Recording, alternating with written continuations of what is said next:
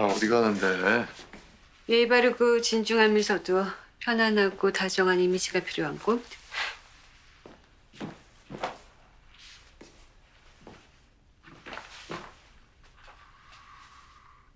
아, 이게 좋겠다.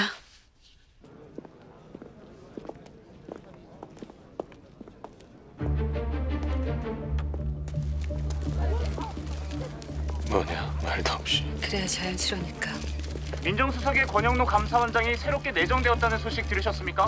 지금까지 청와대행을 인정도 부정도 하지 않고 계신 상황에서 민정수석 철회 사유가 부친께서 소유하신 명성산업개발과 관련이 있다는 말들이 나오고 있습니다. 이 부분에 대해서 한 말씀 부탁드리겠습니다.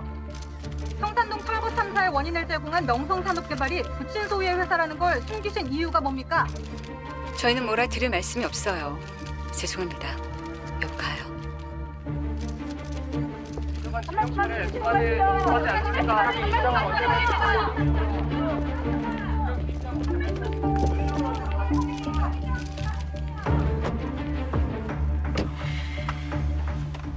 문제 생겼단 말 없었잖아.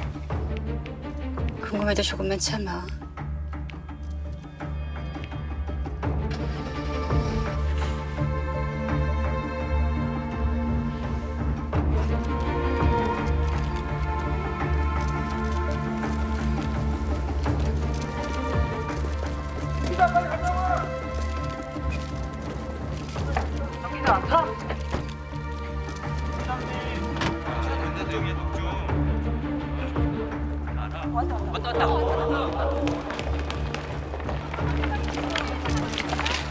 오셨어요. 정말 감사합니다. 죄송해요. 진작 찾아뵀어야 돼.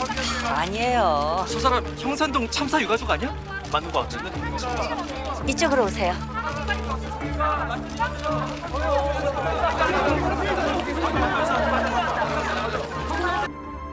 우선 한주일보에 단독으로 기사를 내보내고 나서 JBC 메인 뉴스 시간에도 보도를 하기로 했습니다. 타이틀은요? 정준혁 민정수석으로 내정됐던 건 사실. 부친의 과오에 도의적 책임감으로 괴로움을 느껴 결국 지명 거부.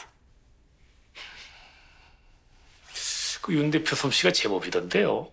어, 초강연의 유진석 그리고 이번 지명 철회건까지 이걸 다 한데 묶어서 이렇게 깔끔하게 해결하다니.